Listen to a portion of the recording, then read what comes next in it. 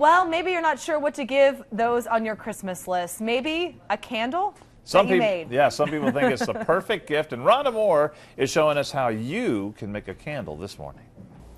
Good morning. Hundreds of people come out here to Aullwood to make candles, and Nina Lapitan is one of the naturalists out here, and she's going to show me this morning how to make candles. And uh, tell me, we start with this. That's right. And so And this goes- is what? This is 100% beeswax, right. and it gets put in this melting pot to turn into liquid. All right. And then all that liquid is moved over And from there, we go to. the dipping tank. Everything's liquid in here, as you can see.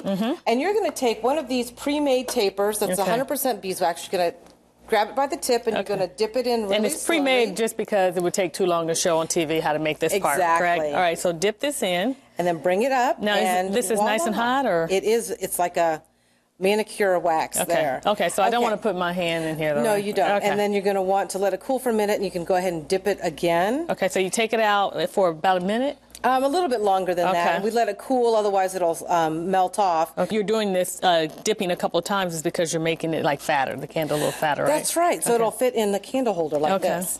All right, and you know, hundreds of people come out here every year to do this, and you have people of all ages coming out here to candle dip, correct? right. Little kids to um, older adults, and in between the dippings, they learn about um, bees and their lives and uh, renewable and non-renewable energy sources. It's a great holiday gift for teachers or grandparents or um, Or even for yourself. members. or for yourself. That's right. All right, well, this is a lot of fun, and we're going to continue to um, candle dip for the next hour. But for now, we want to let people know you can come out here to Aullwood Farm and candle dip on Saturday and Sunday at 2:30 p.m. It's located on Frederick Pike in Butler Township, and I'll be continuing to candle dip, and we'll see uh, what I end up with and what I make in the next hour. Back to you guys. All right, I like that. A nice present that you make yourself means a lot. That's very nice. And you know what? Well- 12 days till Christmas. Oh my gosh, we're blowing everyone's it, mind this Megan. morning. Time running out if you want to make your own candles. Yeah, and for a lot of people, it's a chance to make a little homemade gift for Christmas, and Rhonda Moore is learning how to make those candles this morning.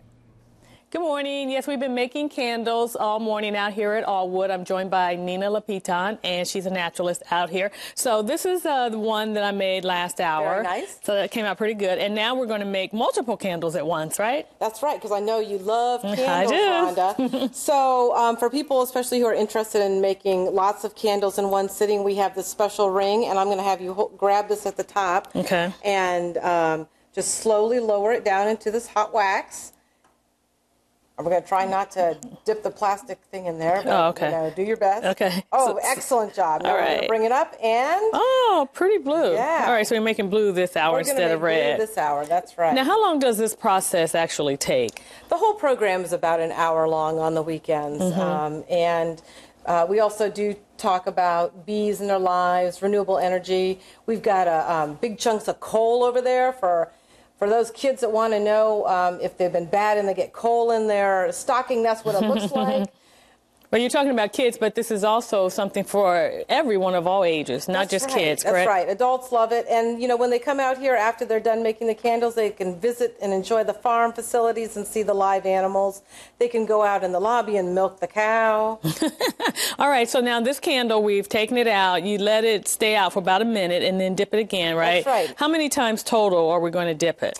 Well, on average, I would say it's five to six Oops. times. So five or six it. times, and that's so that the candle can be fatter, correct? Right, and you get a you get a nice um, thick candle so that it'll fit in the uh, candle holder. We test that. All right, and these make great Christmas gifts for people in case uh, someone hasn't decided what they want to get for someone. They can always come out here and make candles and give them away as gifts. And you can come out to Aullwood Farm and candle dip on Saturday and Sunday at 2:30 p.m. It's located on Frederick Pike in Butler Township. Nina, thank you. And back to you guys. All right, Rhonda, looks pretty cool. That's a nice candles. gift. I know, and a nice color blue. All right. She has a new pastime, it seems. Candle job, Rhonda. making. Candle making.